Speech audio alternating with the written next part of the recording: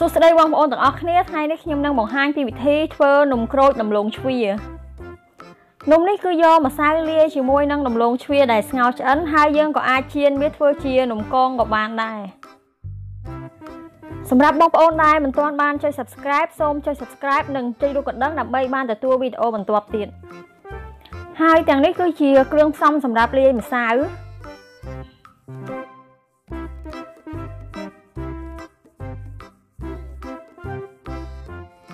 ហើយនេះគឺជាគ្រឿងផ្សំសម្រាប់ធ្វើ snow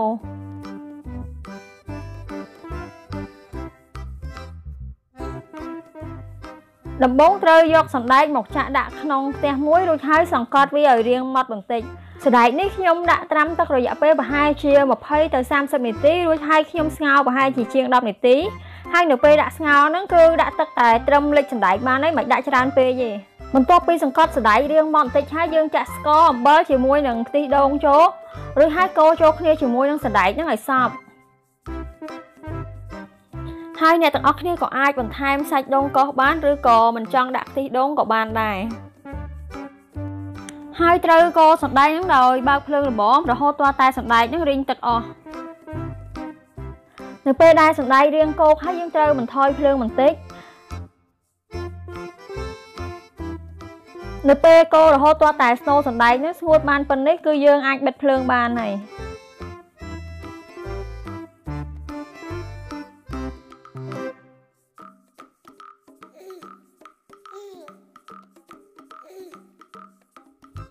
បន្ទាប់មកចាក់ដាក់ក្នុងចានមួយរួចហើយយកថង់មកគ្របពីលើដើម្បីកុំឲ្យស្ងួត ហើយនឹងទុកឲ្យវាត្រជាក់ ឥឡូវយើងមកលាយម្សៅម្ដង ដំបូងយើងត្រូវសង្កត់ដំឡូងហ្នឹងឲ្យម៉ត់សិន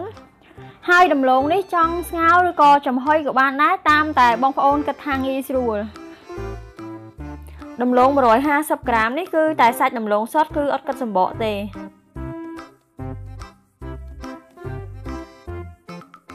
បន្ទាប់មកលាយស្ករសអំបិលជាមួយនឹងទឹកក្តៅរួចហើយកូររហូតទាល់តែស្ករសហ្នឹងរលាយអស់ រួចហើយចាក់ម្សៅដំណើបម្សៅខ្សាយនិងម្សៅ baking powder ចូលគ្នាបន្ទាប់មកចាក់ដំឡូងដែលយើងបានសង្កត់ឲ្យម៉ត់ហ្នឹងចូល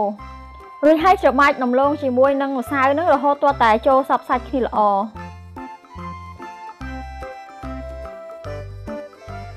បន្ទាប់មកចាក់ទឹកចូលឬឆាយច្របល់ចូលគ្នាឲ្យសព្វ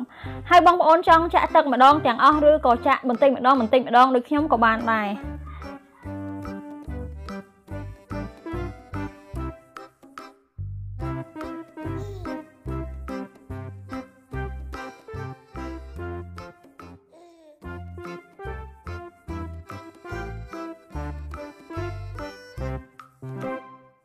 រួចហើយត្រូវច្របាច់ម្សៅនឹងរហូតទាល់តែម្សៅនឹងចូលគ្នាសព្វល្អ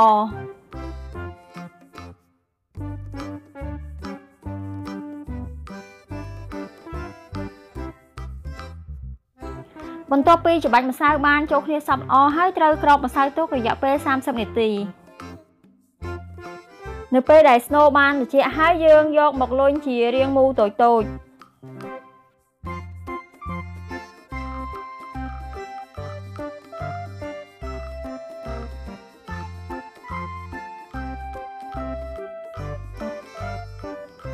យកម្សៅមួយដុំតូចមកសង្កត់ឲ្យសំប៉ែត រួចហើយយកស្នូដាក់ចូលនិងខ្ចប់ឲ្យជិត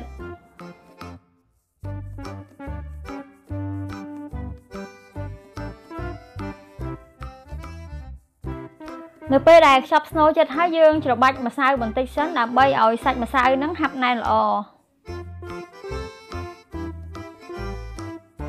រួចហើយយើងលុញវាជារាងមូលនិងដាក់វាជ្រលក់ចូលទៅក្នុងល្ង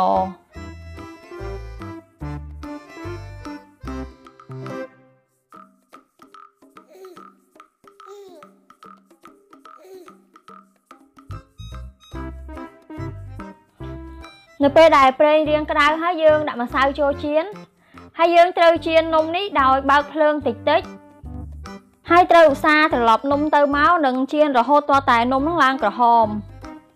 ហើយនំនេះត្រូវចៀនឲ្យរាងក្រហមបន្តិចព្រោះធម្មតាដំឡូងគឺរាងក្រហមស្រាប់ហើយបើយើងចៀនគ្រាន់តែក្រហមល្មមល្មមគឺនំនឹងនឹងអត់ស្រួយទេអញ្ចឹងហើយយើងត្រូវចៀនឲ្យរាងក្រហមបន្តិចទើបយើងអាចស្រង់ឡើងបាន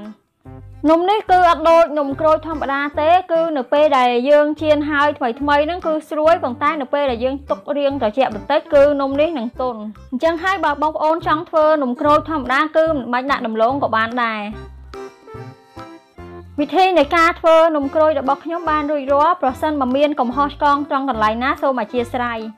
ហើយបើបងប្អូនចូលចិត្តវីដេអូនេះសូមចុច like និង share វីដេអូនេះទៅកាន់បងប្អូននិងមិត្តភ័ក្តិដទៃទៀតសូមអរគុណ